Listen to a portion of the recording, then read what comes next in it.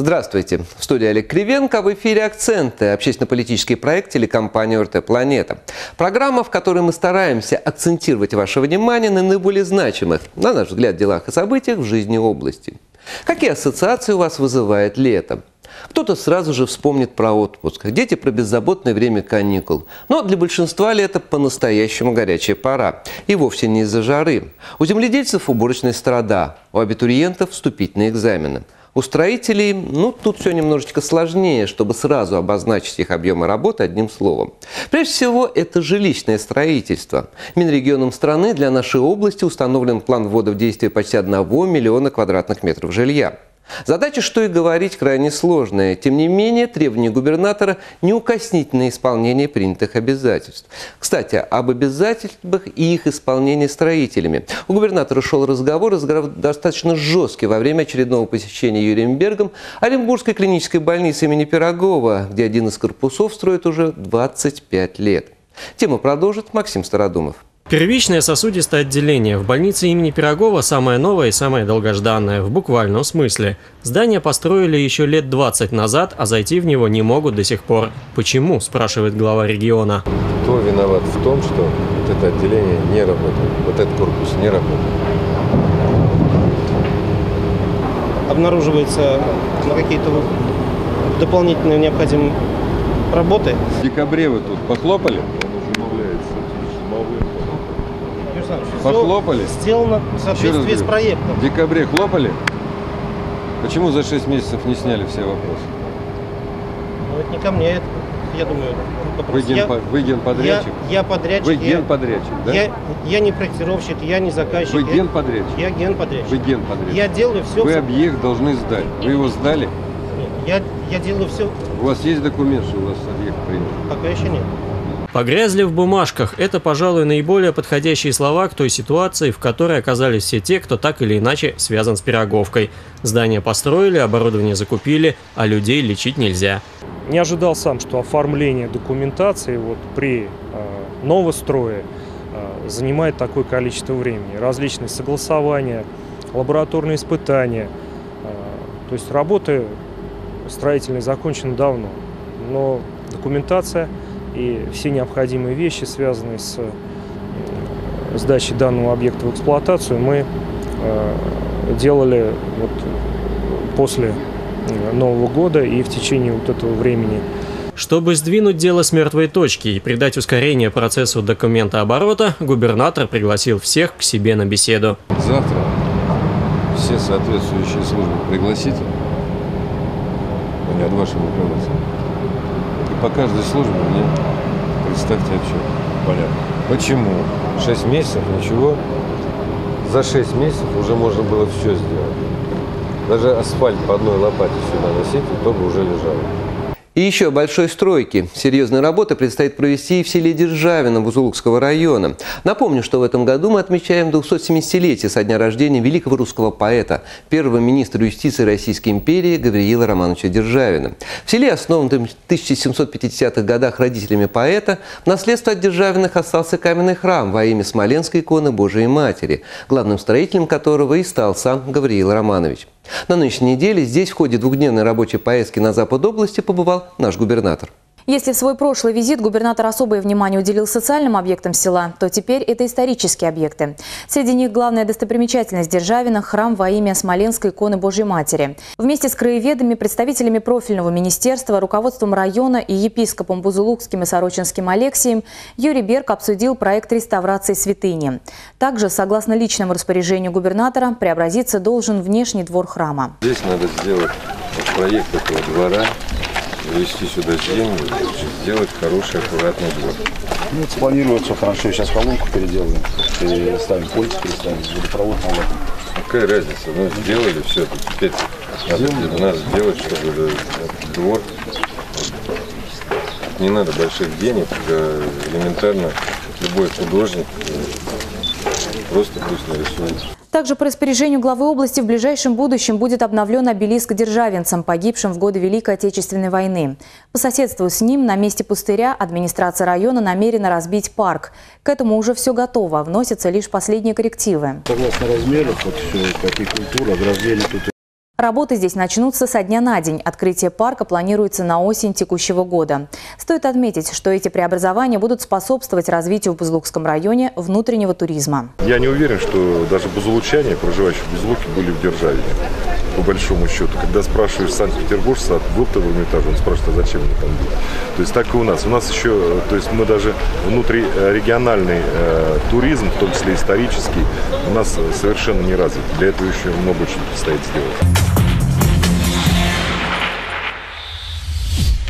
Ну а теперь обратимся к одной из главных тем, причем не только нынешней недели, даже не только нынешнего лета. Речь о ситуации в агропромышленном комплексе области. Некоторые акценты в этом были расставлены в минувшую пятницу в Сулецком районе, где прошел День поля. Такое лирическое название получил областной семинар совещания, участникам которого, впрочем, было не до лирики. Обсуждали они вопросы более чем серьезные – уборку урожая, заготовку кормов, сев озимых зерновых, а также то, как идет реализация госпрограммы развития сельского хозяйства и регулирование рынков сельскохозяйственной продукции, сырья и продовольствия Оренбургской области на 2013-2020 годы. Мощь моторов не идет ни в какое развитие с природной силой. Засуха, которая не первый год терзает Оренбуржье, не дает спокойно рассуждать о развитии сельского хозяйства. Миллионы и миллиарды рублей господдержки тонут в суховеях и погибают под натиском саранчи. И тем не менее, деньги будут, говорит губернатор. Те посевы, которые пострадали, все, что положено, мы в этом вопросе сделаем. И вот, скажем, по опыту прошлых лет, селяне были поддержаны неплохо. 10% скидка на топливо, она была в, рубли, в рублях, это миллиард двести миллионов на, на то и на другое. Мы уже, мы сейчас вот на посевные работы и на это оказали помощь вместе с федеральным бюджетом 2 миллиарда 700 миллионов. Но есть разница. Есть разница? Есть, и существенная. Значит, и правительство, министр сельского хозяйства четко есть, как поддержка будет серьезная и на уборочной работе. День поля в Солилецком районе как показатель того, что нашим крестьянам надо подумать на перспективу. Хватит по старинке сеять то, что нынче никак не желает давать урожай. По опыту прошлых лет, двух лет, аграрии получали помощь по засухе такую, что если бы даже они получили небывалый урожай, продали бы по небывалым ценам, у них все равно результат был бы ниже, чем помощь, которую они получали по засухе. Где там 3-5 центнеров с гектара. Значит, надо чем-то заниматься и отдельно смотреть. Не, не, не всех под одну гребенку, начиная от северного района, там, Бугурусланского и до, до Светлинского, и везде ждать одинаковых урожаев. Все разное. Нут, сорга и санфлор – сорта будущего. Они говорят уже в полный голос, а здесь еще и показывают. Чтобы новой технике было что убирать, прежде надо подумать, что посеять. Есть у нас хозяйство, которое посеяло и рыжик в этом году уже убирает. Как бы это первая проба, но 10 центнеров с гектара ОСУД Бадаровска уже получила этой культуры. Для спутника эти поля испытательные. Именно здесь хозяйство, в котором помимо растениеводства активно занимается и разведением птицы, решили попробовать новые сорта кормов. О результатах руководитель хозяйства говорит только в превосходных степенях. Когда подхожу, смотрю вот на этот вот колосок, который есть, считаем там уже 300 зерен а некоторые 500 зерен. А в Европе имеется 5000 зерен. Это свидетельствует о том, что мы 2 тонны получим. И получим высокобелковой культуры, которая будет заменять килограмм ячменя или 2 килограмма надо ячменя скормить, а это всего килограмм. Страна поставила области задачу в этом году вырастить 2 миллиона 800 тысяч тонн зерна. Цифра неподъемная, говорят в областном Минсельхозе.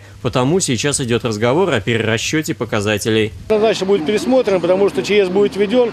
Те посевы, которые значит, будут списаны, э, та, тот недобор урожая, который сегодня есть, он именно будет оттуда минусоваться.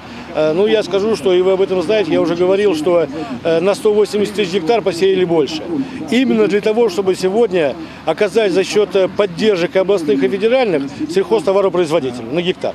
В начале этого года речь шла о поддержке в размере 360 рублей на 1 гектар. Теперь с учетом засухи, когда две трети области горят под солнцем, селяне с надеждой смотрят в казну области и федерации. Второй транш будет буквально где-то в начале августа, это уже точно. Э, ожидаем, ожидаем э, значит, с федерального бюджета 438 миллионов рублей по всем нашим расчетным данным, и Москва это подтвердила. И где-то сегодня изыскиваем возможности с областного бюджета 380-400 миллионов рублей. Об этом сказал губернатор. Что и говорить, природа и погода, еще множество объективных и субъективных факторов вот уже который год испытывают наших аграриев на прочность. Засуха, саранча, диспаритет цен – все это и многое другое стало уже общим местом, когда речь заходит о сельском хозяйстве. Но стоит все-таки вспомнить, что наш край испокон века был зоной рискованного земледелия, что не мешало области собирать рекордные урожаи. Так какие же на самом деле настроения у наших земледельцев сегодня? Что в них больше – пессимизма или оптимизма? И что можно сделать, чтобы поводов для последнего было больше? Об этом моя коллега Елена Файман беседовала с министром сельского хозяйства, пищевой и перерабатывающей промышленности области Михаилом Масловым.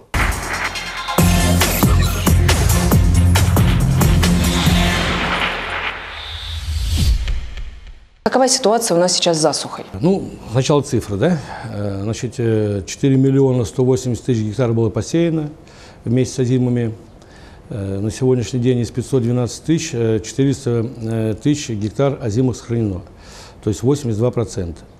Ну, гибель озимых, понятно, не засуха, значит, это природно-климатические условия, но тем не менее, то есть сам факт. На сегодняшний день из 2 миллионов 232 тысяч гектар, которые у нас сегодня яровой сев, 21 район объявили чрезвычайную ситуацию – в 21 районе на сегодняшний день 560 э, тысяч гектар идет э, на гибель. На сегодняшний день ущерб, ущерб по предварительным оценкам составляет 3 миллиарда 360 миллионов рублей. Готов значит, распоряжение губернатора о введении ЧС на всей области. Э, потому что на самом деле сегодня крестьяне от засухи просто пострадали. А тем более учитывая, что значит, э, за последние пять лет практически засуха 4 э, года. То есть 9, 10, 12 и вот 13 год. Введение чрезвычайной ситуации, что это на самом деле? То есть это какая-то дополнительная поддержка из федерального бюджета вы при помощи вот, вот этой ситуации можете получить? То есть для чего вводится чрезвычайная ситуация? И вовремя ли вы ее объявили? Может быть, ее нужно было раньше объявить? Почему она объявляется? потому что э, действительно уже все значит, как бы убедились, что вот этот ущерб есть. Вот эта засуха, она есть, не просто на словах. Э, если не будет компенсации за э, потерянные посевы, ну просто крестьянин завтра не выживет у нас, в полном смысле этого слова а чтобы он сегодня как бы то есть мог э, и в дальнейшем э, вид, видом деятельности своей заниматься. Поэтому вводится ЧЕ, чтобы действительно еще раз посмотреть, что крестьянину какая-то необходимая помощь. Ну вот вы говорите, 4 года засухи, да, и крестьяне об этом знают. А, но почему не выстраивается очередь страховые компании, чтобы именно застраховать свои посевы? Наше личное мнение по этому вопросу э, и мнение всего крестьянства, что сегодня настолько несовершенно страховые законодательства – и значит, у нас на сегодняшний день застраховано достаточно много, 317 э, тысяч гектар, то есть на сегодняшний день. Прошлый год было 480 тысяч гектар. Э, снижение из-за того, что именно несовершенна система и страховые компании, которые сегодня застраховали, э, как правило, не выдают компенсацию и не выполняют свои договора за то, что сегодня уже как бы произошло. На мой взгляд, пока не будет у нас государственной страховой компании, это вот лично мое мнение, я в этом уже убежден. Значит, что дальше мы двигаться в этом вопросе не будем. И вот весь сейчас новый закон федеральный, да, как бы он говорит и значит, делает первый шаг, что действительно должны 50 на 50 заниматься страхованием государства в том числе. По поводу газомоторного топлива вот хотелось поговорить, потому что президентом дана установка о том, что перевести э, всю технику именно на газовое э, топливо, да, так вот немножко такая тавтология. Вот как вы считаете, правильно это, неправильно? Готовы ли именно аграрии вот к, к такому виду? Сегодня э, в связи с тем, что дизельное топливо, да вообще все ГСМ практически дорожает э, на глазах, вот такое слово на глазах, да, то есть за этот год значит, подорожало на 1700 рублей. И я вам скажу, что это не секрет, буквально вот неделю назад мы были с Юрием Александровичем в Москве, значит, Зубкова Виктора Алексеевича э, подписано соглашение между значит, правительством области, губернатором и э, газомоторное топливо.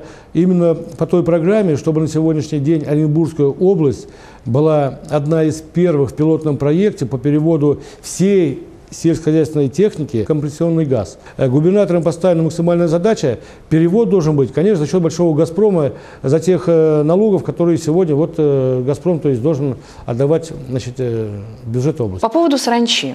Вот э, какова сейчас ситуация с саранчой? Потому что вот на федеральном уровне да, звучала информация, что Оренбургская область опоздала с саранчой. Насколько эта информация достоверна и насколько в этом году мы все-таки смогли побороться вот с этой напастью? Значит, после вот э, того репортажа, да, э, значит, я созвонился значит, э, с президентом зерновой компании, Э, Значит, мы с ним все дело проговорили. Он, конечно, как бы сказал, что я не хотел обидеть Оренбургскую область.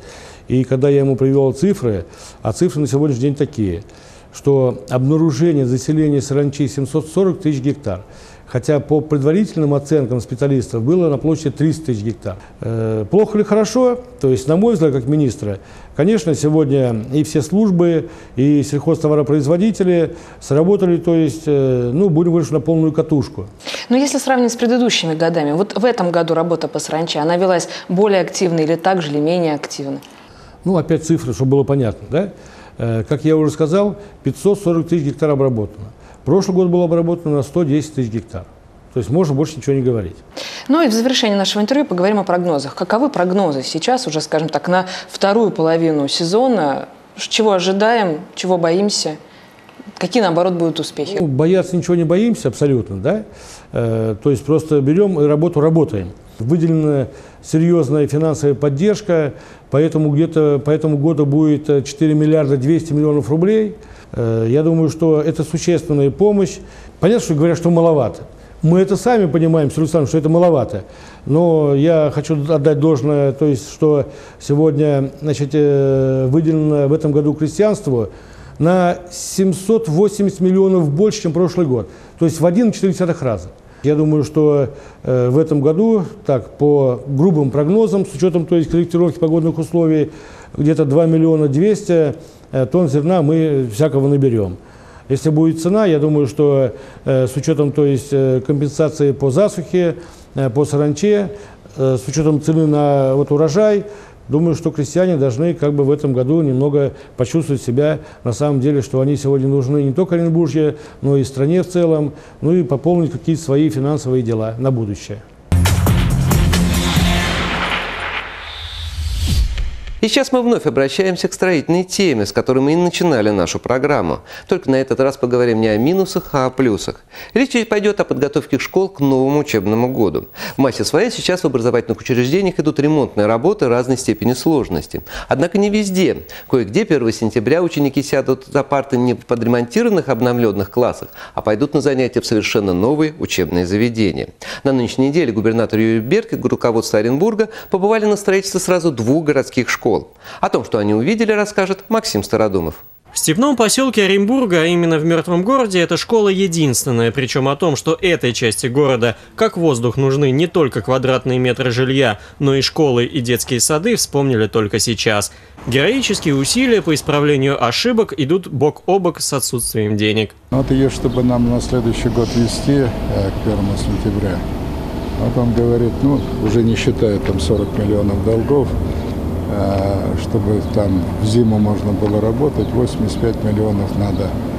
Первое – это утепление, мокрые процессы наружнее, Если постараться и найти недостающие деньги, то к сентябрю следующего года школа заработает, уверяют строители. Главное – разобраться с источниками финансирования. Зиму нельзя терять, а Это абсолютно отопле- правильно. отопление подвели. Нет, Юрий Александрович, отопление не подвели, но вот до осени, до отопительного э, сезона здесь реально подвести отопление. Контур практически закрыт. Для того, чтобы здесь еще есть возможность э, утеплить фасады. Только скажите, кто финансирует это все? Там, со- там совместно. Это- это вопрос к Юрию Николаевичу. 50 на 50, да. Были наши деньги. Да, 50 на 50. 50 на 50. Всё, Так и идем, ищем деньги. Совсем иная картина в авиагородке. Здесь школа уже на стадии завершения. Начали в прошлом году, в сентябре этого уже откроют двери. 400 учеников из ближайших окрестностей будут постигать науки в современном и светлом здании. Прозвучала сейчас интересная идея э, Юрия Николаевича. Я думаю, мы вместе это обсуждали, что сделать это как филиал второй гимназии, чтобы статус вот этот. Это здорово, чтобы и коллектив, и дети, и, и все уже сразу было на высоком уровне. О необходимости строительства школы в авиагородке говорилось давно. От разговоров к делу перешли только в августе прошлого года. Бюджеты Оренбурга и области напряглись, и на свет появился храм наук. По существу начали ее где-то, наверное, в октябре. Начали, вот сейчас вы видите уже ее готовность какая-то школа. Проект уникальный, да, красивый, хороший, необычный. Смотрите, какие светлые холлы, рекреации, 200, кабинеты. 240 миллионов стоимость школы. Что ж, к новому учебному году готовятся все, от строителей до родителей. Кстати говоря о последних, то сегодня обязанности родителей уже не ограничиваются только обеспечением своего чада школьной формы, покупкой ему учебников, ну и традиционного букета на 1 сентября. Нет, современные папы и мамы – это уже не хрестоматийные родители, которых вызывают в школу за провинности их ребенка. Сегодня они более чем активные и непосредственные участники в жизни школы. Всего полтора месяца осталось до вступления в силу нового закона об образовании образовании. Новшество, которое он несет, затронут не только учителей и учеников, но и их родителей. В четверг в Оренбурге состоялся первый областной съезд родительской общественности. На нем было принято решение о создании в области регионального отделения Общероссийской национальной ассоциации родителей и областного совета отцов. Для чего нужно родителям объединяться и какие цели ставит перед собой такой союз, расскажет Елена Файман. Посмотреть друг другу в глаза и услышать биение сердец. Примерно так можно назвать цель встречи родителей со всей области. Будь то город или село, задачи у всех одинаковые – дать хорошее образование детям. Схожи у родителей и проблемы. Решать их можно и нужно сообща, ведя конструктивный диалог со всеми ветвями власти. Но для этого сначала нужно объединиться. Впрочем, и новый закон об образовании накладывает свой отпечаток. Наши дети чувствовали себя защищенными и любимыми и в школе, и в семье. И только защищенный и любимый человек может строить успешную страну и активно участвовать в жизни той страны, которую мы с вами все сегодня Совершенно в кон происходит э, вот этот съезд родительской общественности, потому что 1 сентября стартует новый закон об образовании. И родители становятся полноправными участниками образовательного процесса, а не заказчики образовательных услуг. Мы четко понимаем, что должен быть родительский общественный контроль. Либо это комитет, либо это какой-то совет, либо еще другая форма, но которая сегодня э, рассматривает в комплексе все вопросы развития данного образовательного учреждения. На первый областной съезд съехались родители со всего Оренбуржья. Каждый из них у себя уже выстроил работу, но вопросов пока по-прежнему больше, чем ответов. Новый закон об образовании усиливает роль родителя, при этом вырастает и ответственность. И решение объединиться под крылом регионального отделения Национальной ассоциации родителей позволит сделать многое, начиная от общественного контроля, тонкости которого родителям еще предстоит познать, и заканчивая законодательными инициативами. Не стоит, наверное, делиться в том числе и общественным организациям на какие-то группы и направления. Э, многодетные родители, э, матери-одиночки, родители с детьми-инвалидами. Э, вот эта ассоциация, она как раз так площадка, на которой все общественные организации, цель которых защищать интересы семьи и детства, объединиться. Вот такое объединение, как ассоциация родителей, которые в первую очередь будут болеть за качество образования, за правильное распределение финансовых средств, за нормальную атмосферу, которая должна быть в этой школе, правильное направление вектора, которое выбрана школа. Они будут это заявлять смело. Как всегда, к новому учебному году больше всего готовятся родители, чем сами ученики. Хотя что с ребятишек взять? Каникулы – это святое. Впрочем, не для всех они беззаботное время ничего не делали. Например, у их сверстников, ребята с хора «Новые имена», каникулы получились интересными и насыщенными. Совсем недавно прославленный детский хор, отмечающий, кстати, 15-летие со дня своего основания, вернулся с гастролей в Соединенных Штатах, где ребят очень тепло встречали и принимали на самом высоком уровне. Столь же высокий прием юных вокалистов ждал и на родине. Губернатор Юрий Берг встретился с ребятами и их руководителями время, чтобы узнать, как прошли гастроли в Москве и Нью-Йорке, состоявшиеся при поддержке губернатора и правительства Оренбургской области.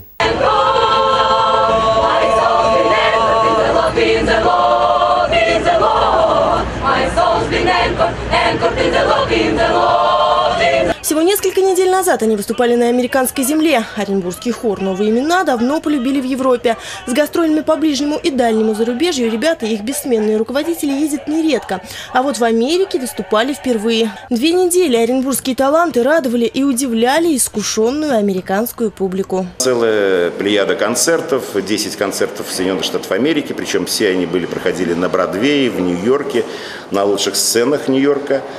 12 июня мы пели в Организации Объединенных Наций, начинали его с гимна России на День России. Вот. Ну а 15 мы вылетели из Соединенных Штатов Америки. Вот такая насыщенная программа. Не рассказать о таких важных гастролях губернатору ребята не могли. Поэтому сегодня за чашкой чая Юрий Берг услышал полный отчет о поездке. Глава региона, в свою очередь, признался, за творчеством ребят следит пристально. Я так всегда смотрю знаю, где вы поете. Что мы поем? Да, да, особенно слежу за репертуаром. Одну из главных песен своего репертуара ребята исполнили прямо в Доме Советов.